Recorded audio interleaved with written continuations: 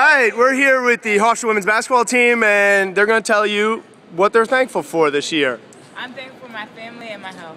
I'm thankful for my family. I'm thankful for my team. Thankful for my family and that we made it through the storm. I'm thankful for my family and teammates. Thankful for my family and teammates. I'm thankful for my scholarship, my family, and my teammates.